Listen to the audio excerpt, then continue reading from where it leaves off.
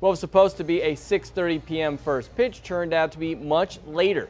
Over an hour and a half rain delay, it would eventually, though, be time to celebrate Skip's birthday and have a ball game at Montpelier Rec Field. Mountaineers get the party started in the bottom of the first with a man on third. Cam Climo is able to get things going in the center field, but Austin Gothier tags, scores 1-0 Vermont.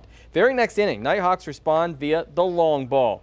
Brian Moore cranks it deep to left field and long gone solo shot tie game 1-1. Top of the third, man on second for Gehrig Anglin.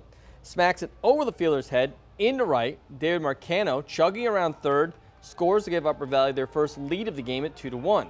Two batters later, Anglin is on third and the pitcher skips away behind the bat into catcher into the backstop. Anglin coasts home 3-1 Nighthawks and Upper Valley hangs on thanks to some big defense from Anglin one more time, laying out, makes the great grab in right field, worth another look as the Nighthawks win this one 6-2 to claim the Governor's Cup.